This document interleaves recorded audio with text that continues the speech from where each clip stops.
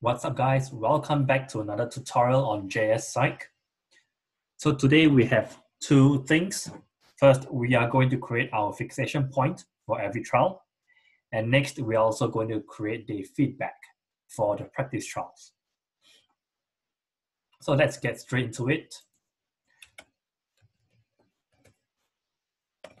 We are going to create our fixation point, which is going to be a HTML keyboard response just because it's it's simple and it's easy to um,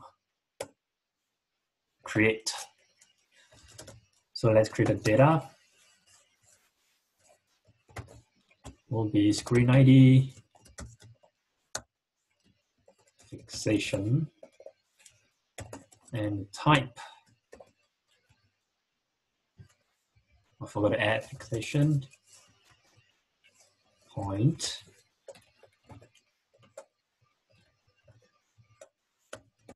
HTML keyboard response. And so um, remember that uh, it's it's just it's the same as image keyboard as, except that for stimulus is it's a text rather than a picture.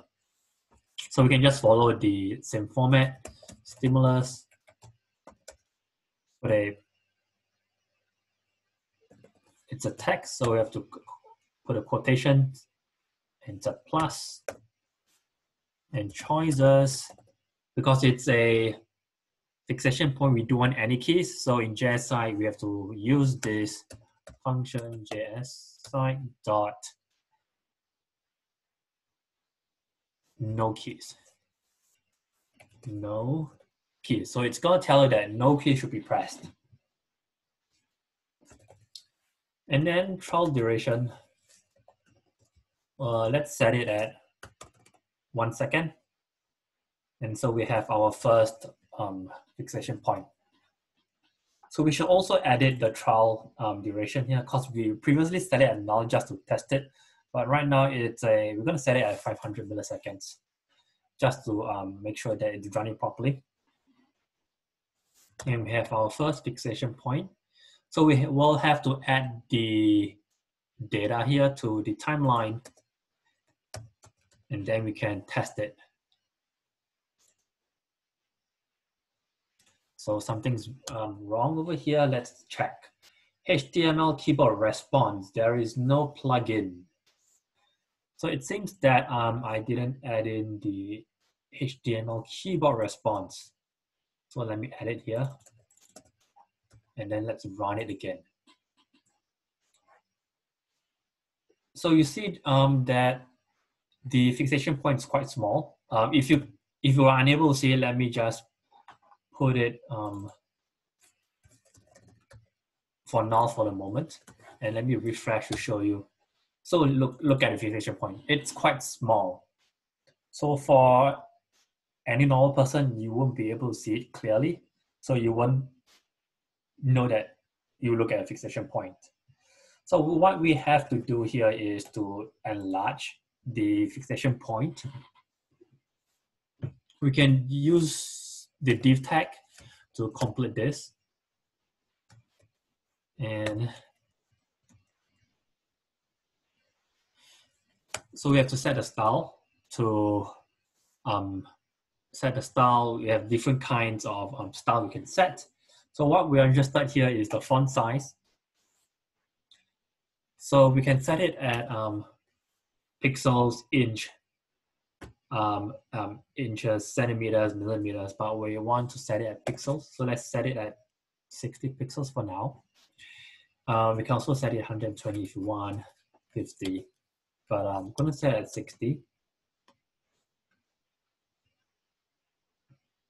And I'm gonna set it, um, I'm gonna add a bold I'm going to bold the response so that it's it it it captures the attention. So now you see it's 60 um, pixels and it's bolded. Could be bigger, could be smaller, depending on um, how big you want the point to be. But right now we have um, our first fixation point and that's good for now. Let's just leave it there.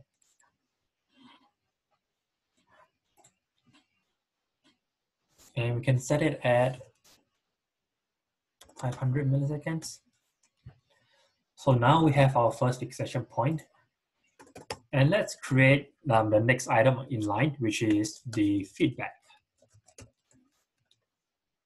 So it's going to be similar to fixation point, except that the stimulus is going to be whether it's whether the person um, did the trial correctly or wrongly or incorrectly. So to practice writing the structure of um, each timeline, let's type it instead of copying. So feedback, trial equals parentheses. Remember to add the semicolon. And we're going to add data. So the screen ID, feedback, and type is HTML keyboard response, comma, stimulus, and choices. So for choices, remember is JSPsych dot no keys. And trial duration.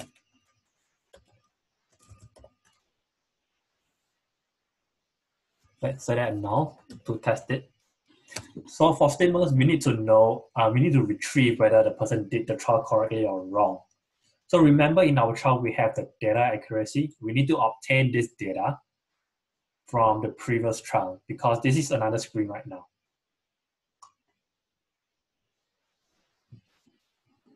So we have to obtain this data from the last trial. So we have to create a function to do that.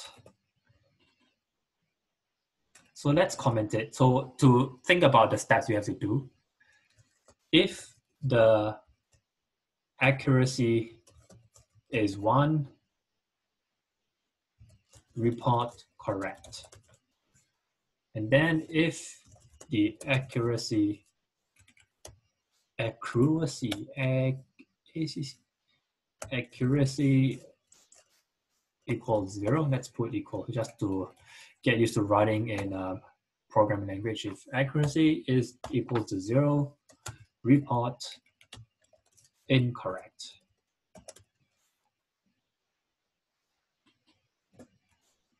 So now we have the structure that we want. So right now we have to obtain the previous date previous trial. Obtain the accuracy from the previous trial. And how we do that is um, last trial var last trial accuracy. So JSPsych has um, the data. The data is stored in JSPsych.data, and to retrieve the data, we use get. So we, this, this gives us the whole data. So we want the last data or the last trial. So we have last n. So we want the last,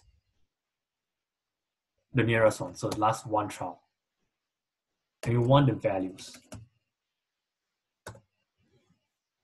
So this gives us an array of all the um, parameters or all the columns or all the uh, values, all the, you can say all the values of that trial, which includes the key press, the accuracy, the correct response, the response, the trial ID, and everything. So this is an array we want it in, um, so you just want the values. And we can retrieve you can see there are all all these are the um, columns, you could say in if you if you open your Excel, these are the columns, and what we want is the accuracy. So we have our last trial accuracy. Right now we need to put it into a if statement. So if correct, then do something. If correct, if accuracy, last trial accuracy is equals to one, then you have to return correct. Else, if it's not one, it is zero. Because remember, um, here in line 70, if the key press is same as a response, correct response, it's one. If not, it is zero. If, even if they did not respond, it is still zero. So we might want to um, change it later to tell them that they didn't respond. But uh, right now we can just do it um, more simplest way, return incorrect. So let's remove the comments and let's add the feedback trial to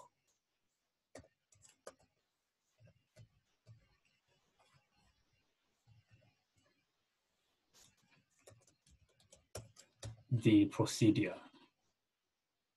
So trial duration is now, um, trial duration is 500.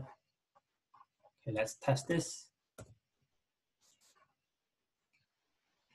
So incorrect. Um, I didn't answer in time. It's incorrect. So next one I know it is an orange trial because we only have two trials. So it gets stuck here because um, there is no key response. So let's change it to 100 milliseconds and run it again. So I did it correctly. And now I did it wrongly. It's going to tell me whether I did correct or wrong. So um, just then you would have noticed that the words are also quite small. So because it's set at the same font size as the fixation point, so we need to change the um, size of that text. So we can do that by using div again. Div style font size 60 pixel. And remember to close it.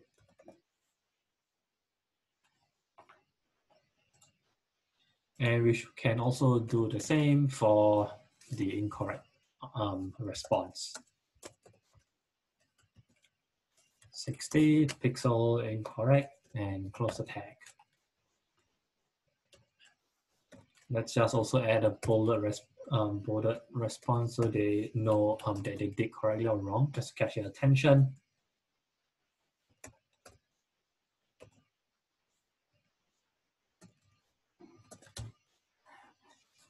So let's refresh, correct, and wrong and correct. I press correctly because, um,